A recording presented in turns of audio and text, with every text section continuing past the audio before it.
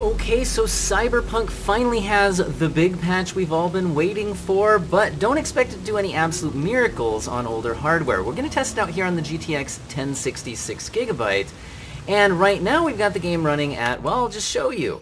The settings are 1080p, in full screen mode. The graphic settings are in the Ultra preset, which yes, I know is stupid, but we're starting there, okay? and then the biggest update uh, is the uh, introduction of Fidelity FX Super Resolution, that is FSR.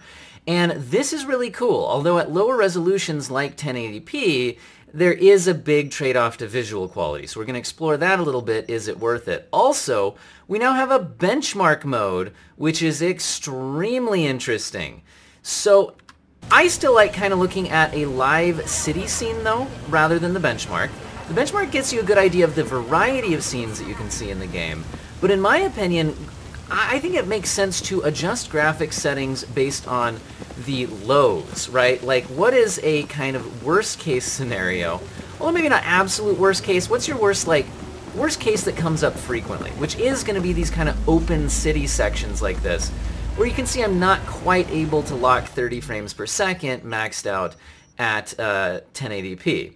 Now, what I want to look at next is, first of all, Ultra is just kind of silly. We're going to turn it down to high, and sure, we could do some kind of custom settings here, but just for the sake of quick testing, let's just use the high preset and see what happens here. So we're now over 30 FPS stably.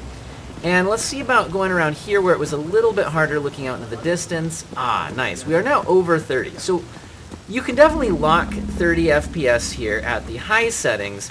The performance may be slightly better than it used to be on the previous patch here, but I'm not going to say there's any kind of night and day difference. So one of the biggest changes, again, is that introduction of FSR. Now, whether or not FSR makes sense to you at 1080p, you know, let's just go ahead and take a look and see what we think. So at the ultra quality setting, that's really as far as I think it would make sense to go. This is going to lower the render resolution of the game, and then apply AMD's uh, upscaling, spatial upscaling, which has a lot of edge detection to try to, and kind of blends things together, so, you know, if you're not looking too closely at the details, it might still feel kind of like a native image, at least better than a extremely simple upscaling technique. Now you'll notice that we're now into the mid 40s, and the game is extremely playable now uh, at these settings. Not that you couldn't play it at 30 FPS, although if I was going to play at 30 FPS, I'd probably use a controller, because I find that low frame rates uh, tend to feel smoother on a controller than, than when I'm swinging my mouse around. The mid 40s is kind of my bottom limit on swinging my mouse around.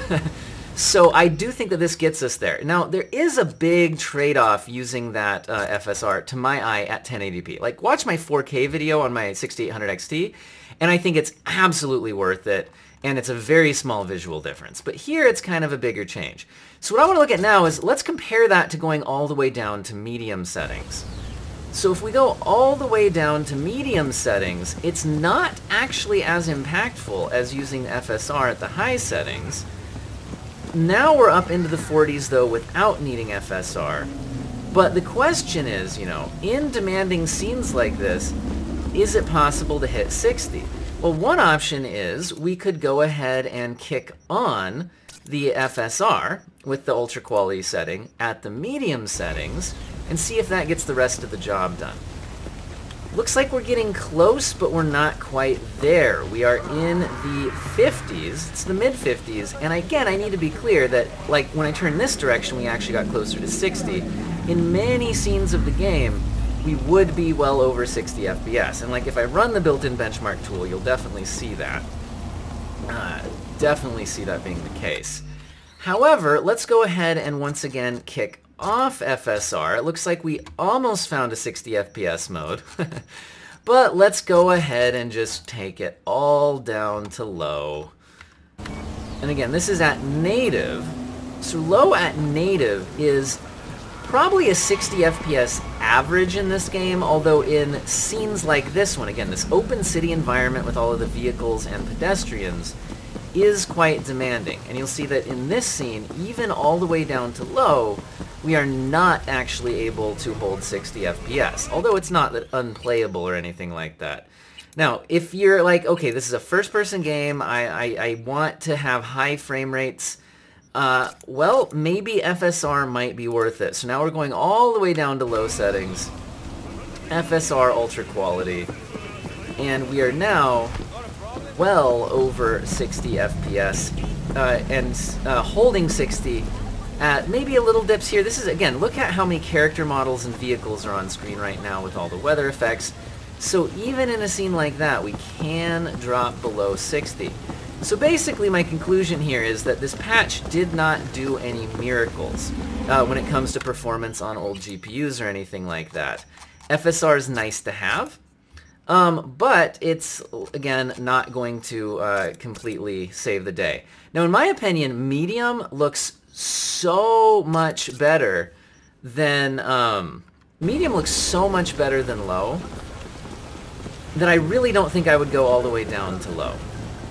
And again, even though we're not able to hold 60 at medium, uh, it is possible... Okay, that was again using the ultra quality preset. So this is medium with, with the ultra quality FSR. You're getting pretty close to 60. And I think I will just show you guys the built-in benchmark tool to kind of finish out the video to see that using FSR along with the medium settings uh, in a variety of scenes is going to perform much better than that extremely demanding open city environment that I was showing you here. So this is the built-in benchmark. I'm really glad that we have it now. It takes us through the, uh, you know, Coyote Bar, where, uh, is that what it's called? It's been a while since I played the game. anyway, um, with lots of character models on, on screen here and everything.